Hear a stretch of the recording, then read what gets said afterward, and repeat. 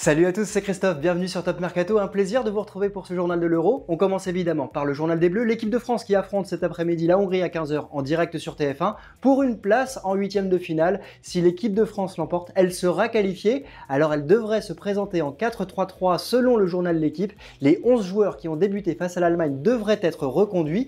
On devrait donc retrouver Benjamin Pavard sur le côté droit, Adrien Rabiot devrait de nouveau être titulaire, et devant, c'est évidemment l'attaque qui fait trembler l'Europe qui sera titulaire avec Antoine Griezmann, Kylian Mbappé et Karim Benzema. C'est le match choisi par notre partenaire Barrière Bet. N'oubliez pas qu'avec Barrière Bet, vous pouvez gagner jusqu'à 250 euros de cadeaux de bonus de bienvenue à votre inscription. Alors jouer comporte des risques. Tout est indiqué dans la description de cette vidéo. Et pour ce match, on a deux paris qu'on pourrait mettre en avant. Le premier, évidemment, c'est la victoire de l'équipe de France qui est cotée à 1,28. Et ensuite, on peut envisager que un des buteurs de l'équipe de France, on l'espère évidemment cet après-midi, sera soit Antoine Griezmann, qui lui est coté à 2,30, Karim Benzema à 2,10 ou Kylian Mbappé à 1,91. Alors je vous rappelle les conditions, c'est avec barrière bet.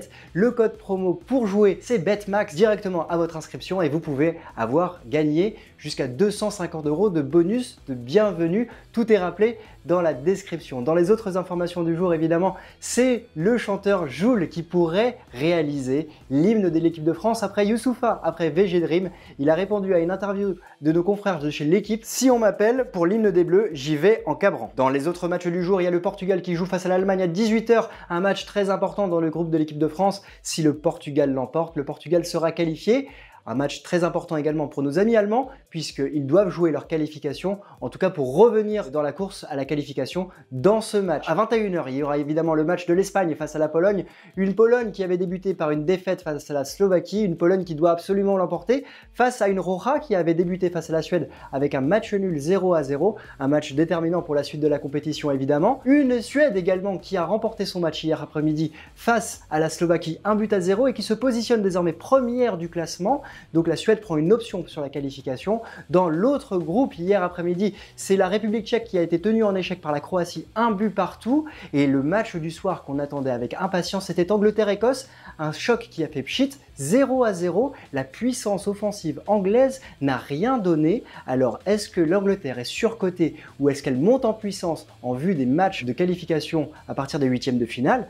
Bah, C'est la question qu'on vous pose aujourd'hui. Dans ce groupe, tout reste à jouer puisque l'Angleterre et la République tchèque ont 4 points, la Croatie et l'Écosse ont un point. Tout se jouera lors de la dernière journée et les quatre équipes peuvent encore se qualifier pour les huitièmes de finale. Alors, on vous quitte aujourd'hui avec une très belle image, celle de Christian Eriksen qui a quitté l'hôpital. Il s'est fait opérer et un défibrillateur lui a été posé. Alors, on est très heureux de le savoir en dehors de l'hôpital. Il va pouvoir revoir sa famille, revoir ses coéquipiers et on lui souhaite évidemment un prompt rétablissement. On se retrouve nous lundi pour un nouveau journal de l'Euro. D'ici là, allez les Bleus, on espère évidemment une victoire. Dites-nous votre, pronostic en commentaire et on se retrouve lundi. Très bonne journée et très bon week-end.